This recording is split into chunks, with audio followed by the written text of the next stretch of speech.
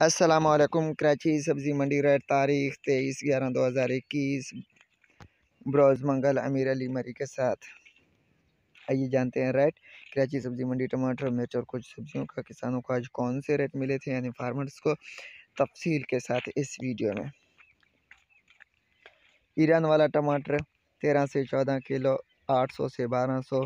कल ये तेरह सौ, चौदह सौ करीब बिके थे। इलाका टमाटर ग्यारह से तेरह किलो, आठ सौ से बारह सौ। आज बदीन का बहुत टमाटर था। पहले कल तो इसका इक्का दुक्का सतारह सौ तक भी बिके थे। और हरने वाला अच्छा टमाटर कल नौ सौ तो तक था। आज सात सौ से साढ़े आठ सौ तक बिका, क्योंकि आज सिंध का बदीन का माल बहुत कराची सब्ज़ी मंडी में आया था। इस वजह से टमाटर के रेट दो सौ से तीन सौ नीचे आया। और लौकी चालीस किलो, बारह सौ से चौदह सौ रुपये तक बिका। और तूरी चालीस किलो, चौबीस सौ से छब्बीस सौ तक बिका और करेला चालीस किलो सोलह सौ तक बिका। अगर आप न्यू हैं तो हमारे यूट्यूब चैनल सब्सक्राइब करें।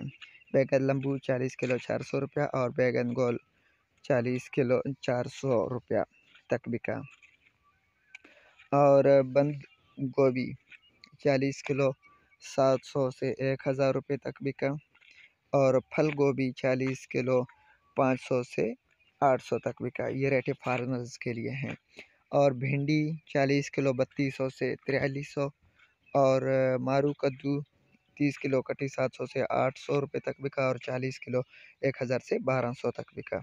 और उसके बाद अब रुख करते हैं मिर्ची रेट के तरह। शिमला मिर्च सोलह से अठारह किलो, एक हज़ार तक बिका। काली शहज़ादी चालीस किलो, आठ सौ रुपया।